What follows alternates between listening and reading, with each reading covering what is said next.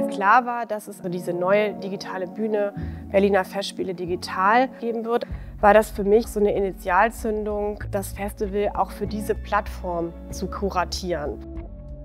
Ich begreife es als eine Erweiterung des Theaterraums, also genauso wie, wie der gesellschaftliche Raum, der politische Raum, der, auch der ökonomische Raum lange schon nicht mehr vor dem Internet Halt macht, sondern es ist eine ständige Vernetzung, es ist ein ständiger Austausch, ein Schillern zwischen digital und analog.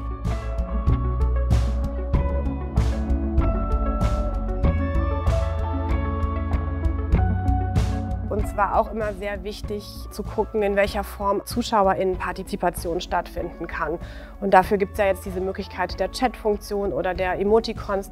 Und deswegen haben wir uns zum Beispiel auch entschieden, mit Causa Creation und minus 1, 2 der Bühnenbilder aus der Zehnerauswahl zu digitalisieren. Und es sind jetzt 3D-Experiences geworden, die man erforschen kann.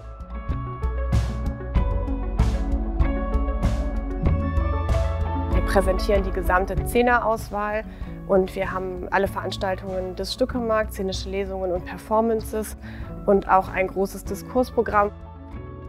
What started as a theoretical idea two years ago has now grown into a central social question. What does solidarity really mean? Who experiences it and how can it be practiced? The artists of Stückemarkt question our theme by thinking about historical and social processes and also through telling their very individual and intimate life stories.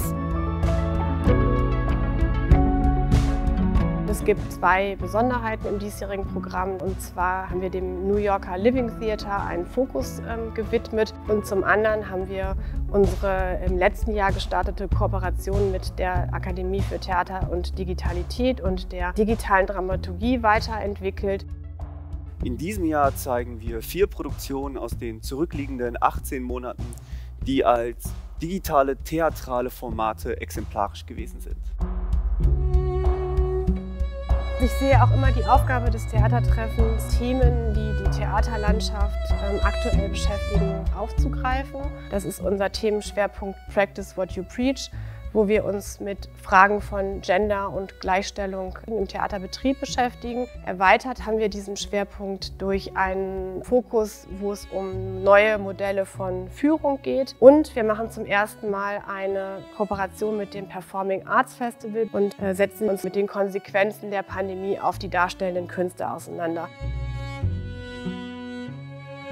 bin ja im letzten Jahr sehr häufig gefragt worden, wie sieht das Theatertreffen 21 aus? Und ich habe äh, damals felsenfest behauptet, wir werden wieder ein analoges Festival veranstalten können. Jetzt bin ich wieder an dem Punkt, wo ich behaupte, wir können 2022 ein analoges Festival veranstalten und ich hoffe auch, dass wir das tun können. Mein Fazit ist aber, dass wir die digitalen Angebote, die wir entwickeln haben, zum Teil mitnehmen möchten in ein zukünftiges Festival.